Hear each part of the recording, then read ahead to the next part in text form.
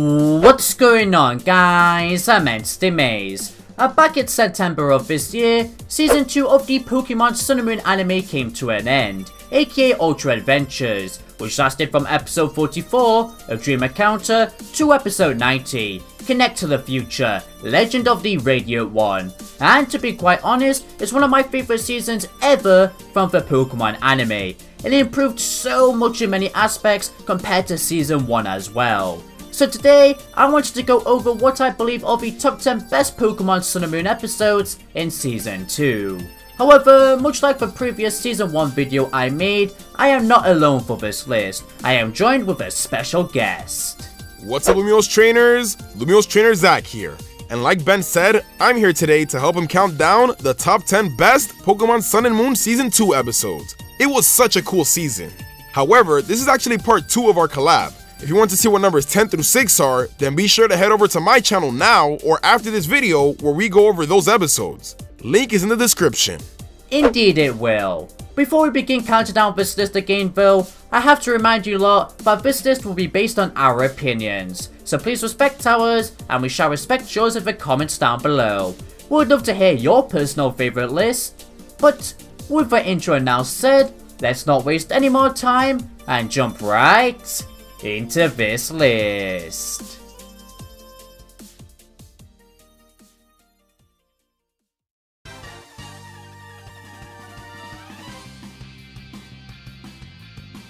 Number 5, Episode 63.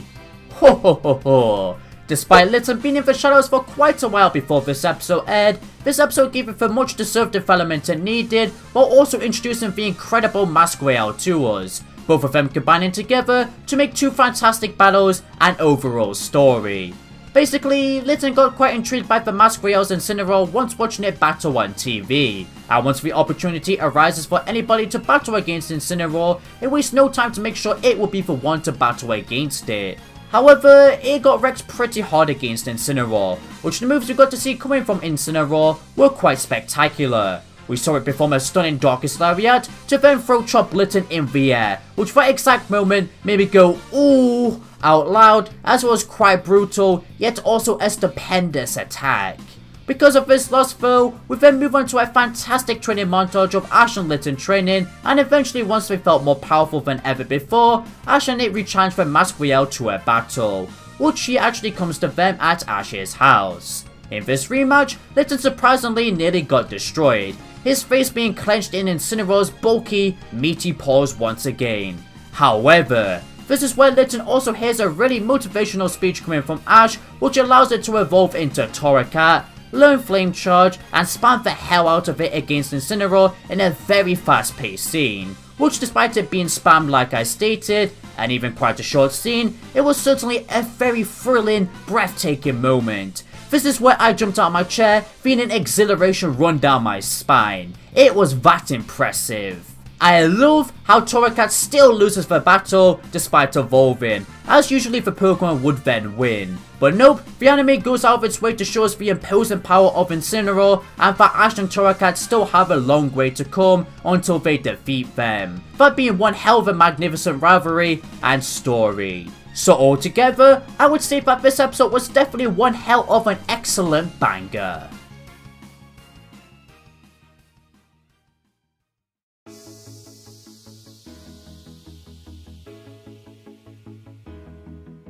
Number 4, Episode 49 and Episode 50. So for this number 4 spot, we actually have two episodes as you can see. Why that is, is because these episodes go hand in hand. I'll be talking about episode 49 first. Yo, what an episode it was. As you guys should know, I'm a huge Lily fanboy, so of course I'll be so invested in her anime character's overarching story, which this episode was indeed very important for her character, as she finally overcame her fear of touching Pokemon, now successfully being able to touch every single one, once learning the hard truth about her past. But it was fully revealed within this episode that indeed Nihilego tried to adopt Lily, like Gladion said back to Ash in episode 47. Although, the new thing we learn is that Silvally rescued Lily from this Ultra Beast, and that Lily suppressed her memories of this event. This giving an explanation to us of why Lily suffered her trauma of touching Pokemon once again in the previous episode once meeting Silvally. It was just simply because she remembered it played a major role in the reason of why she fears touching Pokemon, which combining all these answers made such a fulfilling conclusion to Lily's goal to overcome her fear at that moment in time, as it was one of the series' most biggest and greatest mysteries. It made me so happy to see her be so happy as well. You cannot really blame her for being frightened all these years regarding Pokemon 2, as she was only a little kid who was about to get abducted. That's very dark, yet it's also lovable because of that. The other ways this episode built up to that phenomenal conclusion too was very astounding, such as we got to witness more of Lily's relationship with her family in the past, which was very heartwarming to watch, through wonderful action, and finally, even Faba's creepy, evil character.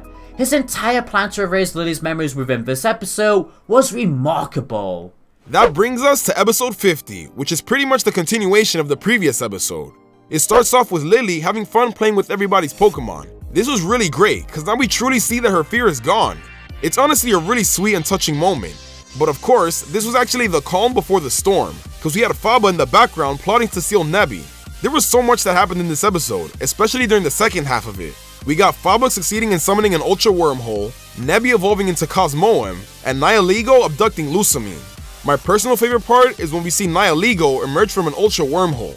It made things really intense, especially when you see it in action and pretty much having no problem taking out Lusamine's Clefable, Gladion's Silvally, and Ash's Pikachu.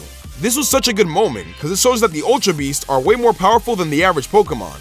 And with Lusamine now gone, this gave us a great setup for the next couple of episodes, where the gang has to go to Ultra Space to save her.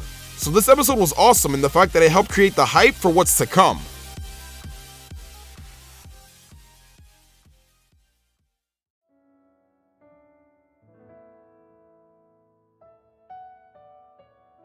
Number 3, Episode 79. If you found Episode 21 sad, then you're bound to find this one just as depressing.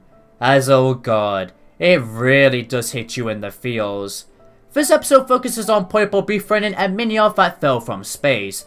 As usually, Miniors come to land in the Pokemon world because their shells harden after eating too much space dust. This increasing their weight, hence the falling. And once they land, they then break free from their shells and return home to space.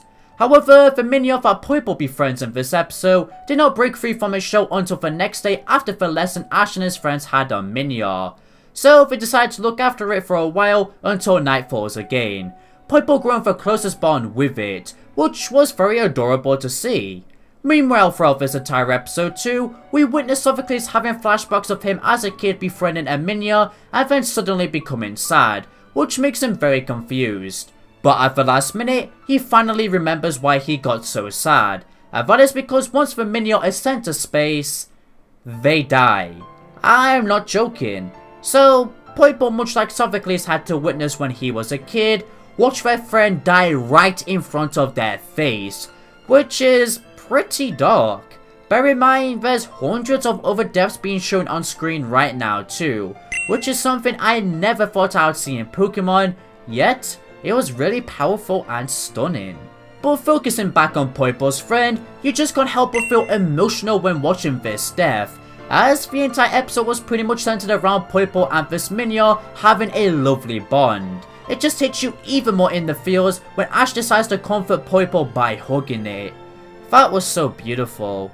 Even Sophocles' past is something that can hit you pretty hard, and it even gave him more justice to his character.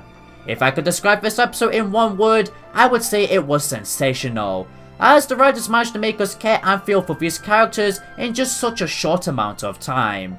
I for sure let out some tears, and I'm 80% sure that if you haven't watched this episode yet, that you are bound to as well, for sure, I would also say this is even one of the most depressing and darkest episodes ever in the Pokemon franchise as a whole. Oh, what, what an episode.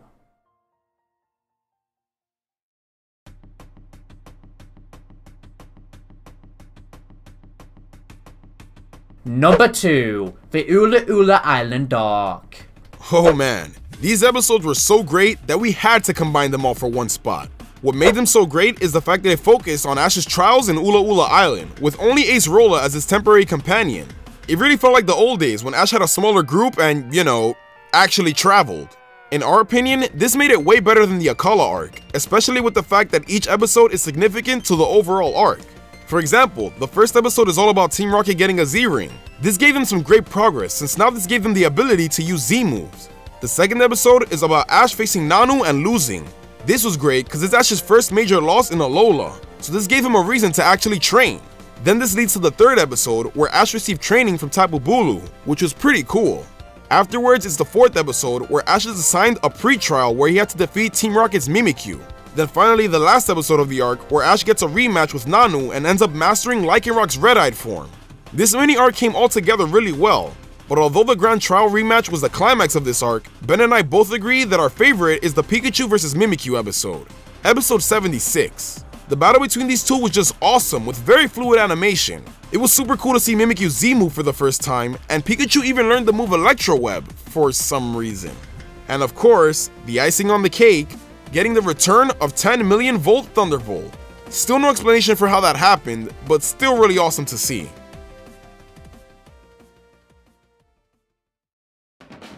Before we move on to the number one spot, we quickly wanted to go over honorable mentions for this list. Firstly, we have episode 60, which that episode did a superb job of giving Snowy much needed development, while also showing Lily other roles trainers can have in the Pokemon world, leaving a very enjoyable episode. Next up, we have episode 65, which introduced the character Ilima wonderfully, while also providing us entertaining moments, such as Ilima defeating all of Team Skull just by using Extreme Evo Boost. And finally, we have episode 83, which despite it only being decent for many people, is actually by far one of my favourite filler episodes in this series, maybe even the entire franchise as a whole. As it screamed so much fun to me because of the obstacles small Ash, Lily and Sophocles had to go through. This concept of them being small overall, being very unique and different, which was extremely charming.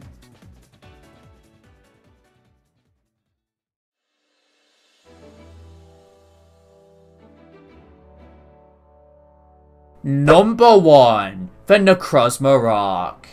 Alright, with the honorable mentions out of the way, we can now talk about number 1, the Necrozma arc. What better way to end the season all about Ultra Beasts than with the strongest Ultra Beast of them all?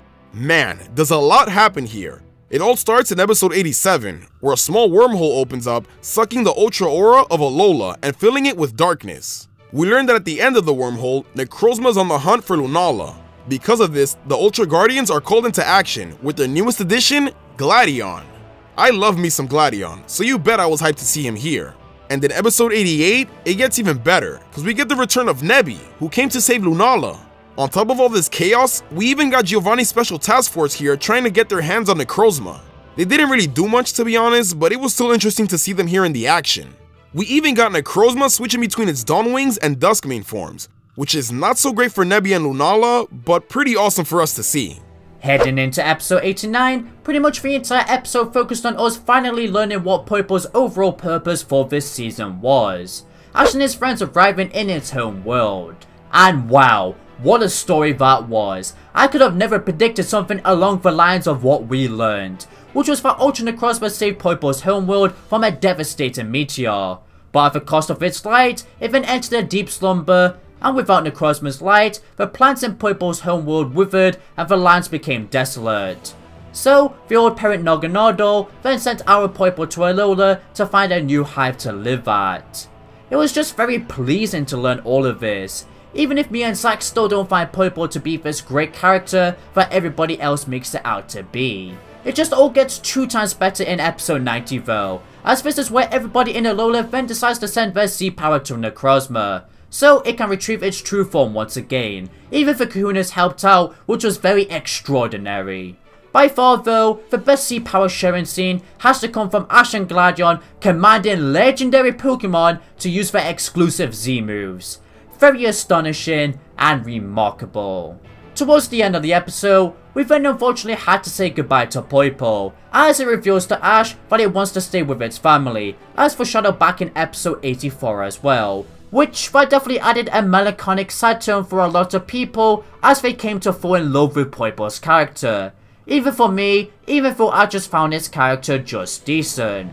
The montage of its time with Ash 2 is where it hits you in the feels the most. It was just so perfect, my favourite montage in the series as a whole. Future Connection, the opening theme, played a major factor for why it was so perfect too, as the lyrics fit alongside the scenes just superbly.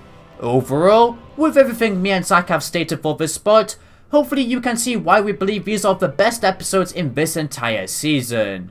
Truly, to us, they were absolutely splendid.